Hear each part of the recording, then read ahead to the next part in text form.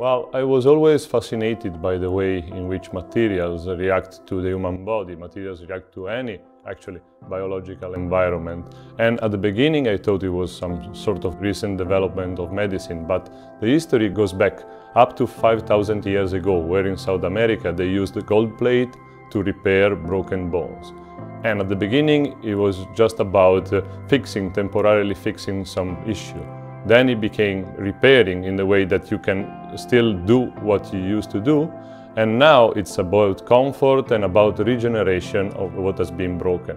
In our laboratory, we research about materials, we research about how to regenerate the bone tissue, we research how to give back people the same standard, the same quality of life they were used to.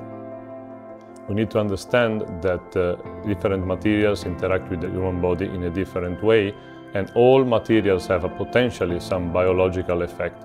Sometimes it's about their chemical composition, but sometimes it's just about their shape or their size, so nanoparticles behave in a different way.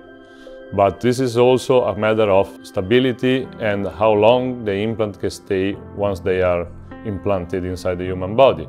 What we want is something that we implant one time and stays forever. Of course, this is something we are going through, some really successful implants like the hip implant can last up to 25 years, which means once implanted they probably stay there for the rest of your life. But still, after that amount of time we need to undergo surgery again and change the implant with a new one, which can be a trouble, especially for the elderly. We are now shifting our research going from hard materials that once implanted stay forever in their position to more soft materials and fabrics that can be used as resorbable materials and can also release drugs that can help and promote the regeneration of the tissue. For example, you can imagine to apply this material on the skin, over time it will disappear, and while it disappears, it releases some specific drugs that help the skin rebuild itself.